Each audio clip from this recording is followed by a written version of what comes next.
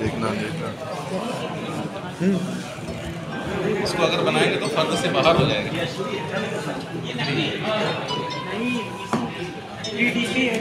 हो गया शामू बिगड़ तुम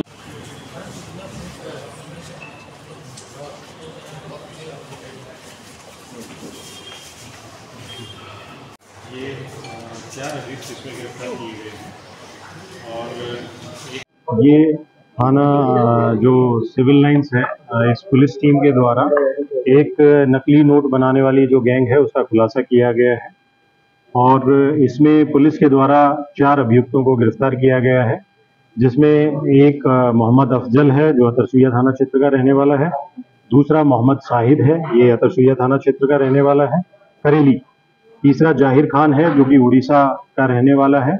और चौथा इसमें मोहम्मद तफसीरुल आरिफीन है। ये मूलतः रहने वाला उड़ीसा का है, लेकिन यहाँ पे ये एक मदरसा है, जिसका नाम मदरसा जामिया हबीबिया है। इसी का ये प्रिंसिपल था और वहीं पे ये पाँच छः साल से रह रहा था। इनके द्वारा उस मदरसे में ही एक रूम में ये जो नकली नोट छापने का जो काम है, इनके द्वारा किया जा रहा था। इसमें जो इंडियन करेंसी नोट है, वो हंड्रेड डिनोमिनेशन का जो नोट था वो इनके द्वारा वहीं पे तैयार किया जा रहा था। और इनके कब्जे से जो बरामद हुआ है उसमें 1300 नोट जो हंड्रेड डिनोमिनेशन के फेक करेंसी नोट्स हैं वो बरामद हुए हैं जिनकी कीमत जो एक लाख तीस हज़ार की है। उसके अलावा 234 पेज मिले हैं जिसपे इन्होंने जो Indian currency note hundred denomination का जिसको इन्होंने प्रिंट कर रखा था। वहाँ से हमें लैपटॉप प्रिंटर आ, स्कैनर कटर और एक जो सिक्योरिटी थ्रेड होता है उसको मिमिक करने के लिए जो टेप इनके द्वारा यूज़ की जा रही थी वो भी बरामद हुई है। इनसे पूछताछ में ये पता लगा है कि ये काम ये पिछले तीन चार महीने से इसी मदरसे के रूम में कर रहे थे और ये सारी चीज़ें जो प्रिंसिपल है अ, उसके संज्ञान में भी थी और वो भी जो ये नकली नोट छाप रहे थे उसके प्रॉफिट में अपना शेयर रखता था। अभी जो मुखबिर से इनपुट मिली थी उसमें ये अ, पता लगा था कि कुछ नकली नोट बनाने वाली गैंग है जो कि पंद्रह हज़ार रुपए में, पैंतालीस हज़ार रुपए के नकली नोट जो है वो प्रोवाइड करवा रही है। इसी इनपुट पे जो सिविल लाइन पुलिस टीम के द्वारा ये कार्रवाई की गई है। और जो भी पुलिसकर्मी इस टीम में इन्वॉल्व थे उनको मेरी तरफ़ से ट्वेंटी फाइव थाउज़ेंड रुपीज़ का रिवॉर्ड भी दिया गया है।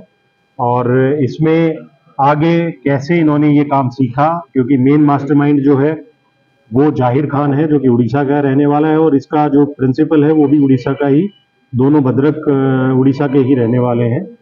तो उन चीज़ों पे भी हम जो इन्वेस्टिगेशन आगे प्रचलित रहेगी, उसमें उन बिंदुओं पे काम करेंगे। और इनसे जो इंटेरोगेशन में जो चीज़ें पता लगी हैं और जो बाकी अन्य साक्ष्य हैं उनके बेसिस पे और कौन लोग इसमें इन्वॉल्व हो सकते हैं उस पर भी पुलिस इसमें कार्रवाई कर अच्छा सर ये इन पैसों का क्या करते थे? कहाँ कहाँ ये सप्लाई करते थे? कोई बाहरी कनेक्शन देखिए जैसे मैंने बताया कि ये पिछले तीन चार महीने से ये काम कर रहे थे और इनको मार्केट में जो दुकानें हैं उस पर सामान खरीदने के लिए पहले इन्होंने यूज़ किया।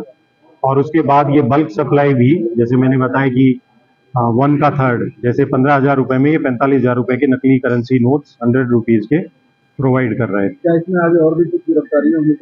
देखिए, जैसे मैंने बताया, इसमें क्योंकि अभी एफआईआर हुई है इन्वेस्टिगेशन प्रचलित है और इंटेरोगेशन और इसमें कुछ चीज़ें मिली हैं, उनको हम डेवलप कर रहे हैं और आगे की कार्रवाई इसमें सुनिश्चित करेंगे